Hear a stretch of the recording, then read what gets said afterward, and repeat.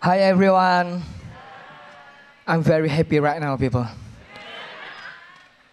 Akhirnya saya merasakan panggung impian saya. Terima kasih tepuk tangan buat Suci. Karena hidup saya pernah hampir hancur gara-gara stand up comedy teman-teman.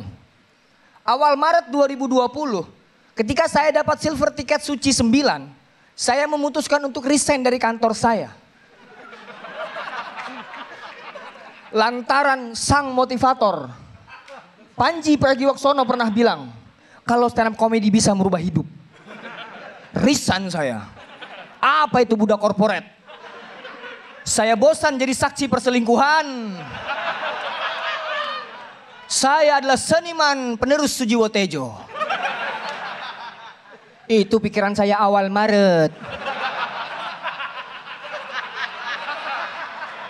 Akhir Maret saya jadi sampah.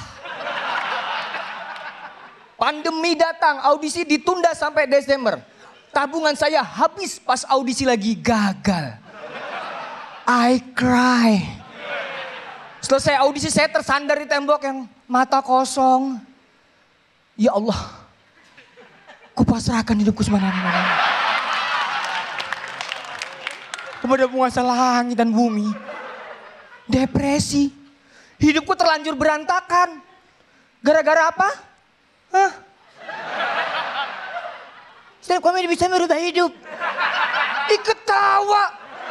Kok bisa ketawa? Tanggung jawab.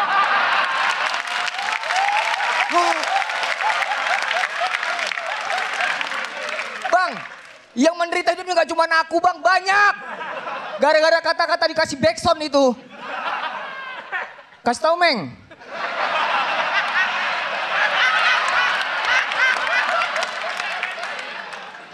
Sumpah saya depresi berat teman-teman. Kalian tahu gak sih perasaan yang kayak mau marah, tapi bingung mau marah sama siapa? Saya waktu dalam kamar sendirian bengong. Sambil mandangin silver tiket suci sembilan. Saya liatin.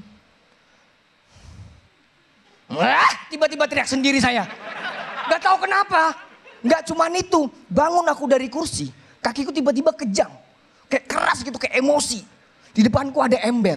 Refleksku tendang Tiar, embernya pecah. Pas di tulisan anti pecah.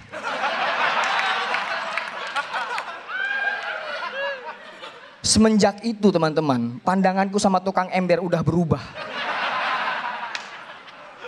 Kalau ada tukang ember jualan, terus yang dang anti pecah, aku dari jauh, pembohong. Embermu sama kayak kata-katanya Panji. Terima kasih saya Bagri.